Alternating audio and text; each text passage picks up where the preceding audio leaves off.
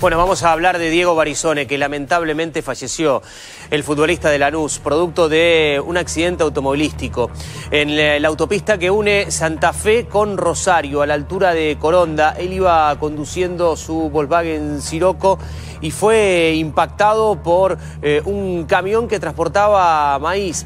La, la foto del auto es realmente terrible porque vos fíjate, lo ves destruido detrás y destruido delante también hay dos versiones, una que él impacta el camión y la otra que el camión lo impacta a él. Lo que está claro que de alguna manera eh, eh, termina impactando en los dos frentes, en el frente y en el contrafrente del auto. Diego Barizone, jugador que actuaba en Lanús desde comienzos de este año, que nació futbolísticamente en Unión, que es profesional desde el año 2009, que tenía casi 100 partidos en primera división. Esta es otra foto del trágico accidente. Lo que ves detrás de todo esto es un auto, o en realidad todo esto formaba un auto eh, antes de este retrato fotográfico. Lamentablemente dentro de ese vehículo iba Diego Barizone, que falleció hoy a las 5 de la mañana.